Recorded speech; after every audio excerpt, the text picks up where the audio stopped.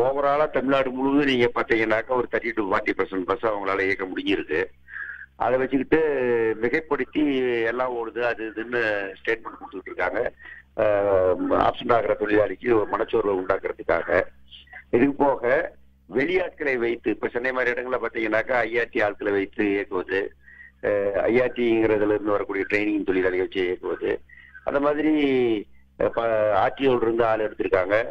அப்புறம் பஞ்சாயத்து போர்டு தலைவர்கள் மற்றவங்க எப்ப ஜீப் ஓட்டுறவங்களை கூப்பிடுங்க நம்ம கிட்ட இருக்கிற ஹெவி வெஹிக்கிள் ஓட்டுறவங்களை கூப்பிடுங்க அவங்கள போச்சுருங்கன்னு சொல்றாங்க.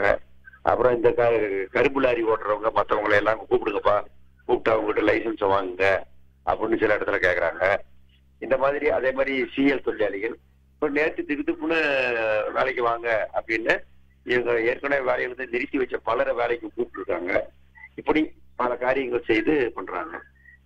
தொடர்ச்சியாக வேலையே செய்யாம சம்பளம் வாங்கிட்டு இருந்த ஆளுங்கட்சி சேர்ந்த சில நூற்றுக்கணக்கான பேர் இருக்கிறாங்க தமிழ்நாடு முழுவதும். அவங்க முழுவதும் வண்டி ஏறி இருக்காங்க இது வரைக்கும் வேலை செய்யல இன்னைக்கு வேலை செய்யறாங்க. அப்படி ஏறி இருக்காங்க இப்படி கொஞ்சம் வண்டி ஓட்டு முயற்சி பண்றாங்க. அதுல வந்து முப்பதுல இருந்து நாற்பது சதவீத வட்டிகள் தான் இயங்குது.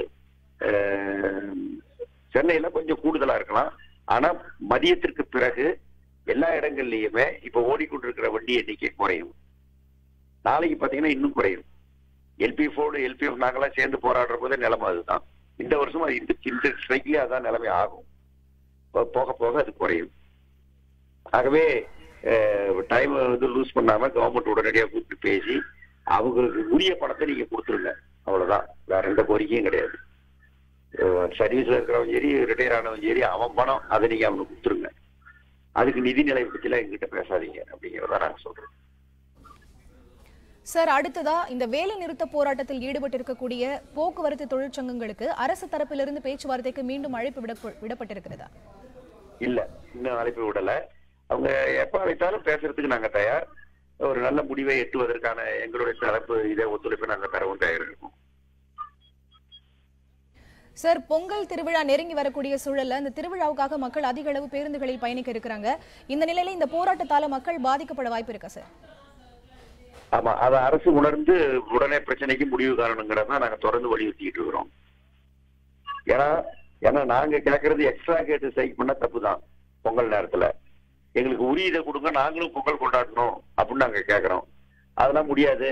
எட்டு வருஷம் ஆன அப்புறமும் அதெல்லாம் முடியாது அப்படின்னு அரசு பேசி கொண்டிருந்தால் அரசினுடைய தவறை மக்கள் உணரணும் எல்லாரும் உணரணும். நாங்க வந்து ஒரு இந்த இந்த போராட்டத்துக்கு நாங்க தள்ளப்பட்டிருக்கிறோம்.